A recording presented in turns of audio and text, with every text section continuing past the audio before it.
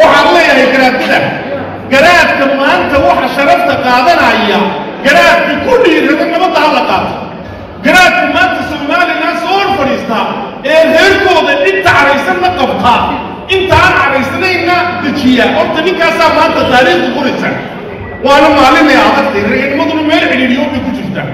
waxaa ka warqabtaan inuu madaxweynaha somalilan wafdi diray inuu shalay suldaan dhowaro ay gobol ka soo jeedaan brofesorku uu hadlaayey oo guddi salaadiina oo la diray oo iyagu iskooda isu diraya ay ahaayeen oo tegeen nabadda intaana ay sugayeen iminkana waynu sugaynaa diyaar baana loo yahay inay somalilan wada noolaato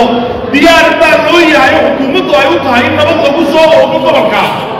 inaanay xabadi ka dhicin inay nabad noqoto waanay noqon doontaa waxaan leeyahay durbajoogga wax fara badan baanu u soo joognay wax badan baanu aragnay waa la ysku dhacaa nabadgelyo darra way yar dhacdaa laakiin way soo noqotaa. Waa laga sheekayn doonaa. Maantana adduunkiiba waxa bedelay rikoorkaa yar tv-gaa konton sannood dambaa la daawanaya ama boqol sannood dambe. Hadalkaa caawaa la dhakarlaya bishaa shircaan ay rabadaan ka soo gelayso. Waxaa kaloo ogtii in rabadaan shaydaanka la xidhxidhaba shaydaanka wuxuu sii shaqaystaa bishaa shircaan iyo oo is idhaahdaa siyeer darag illee la xidhiyo ogyihi oo shaka kama saarneen waa nimayow shibcaan tahay inaan noqonin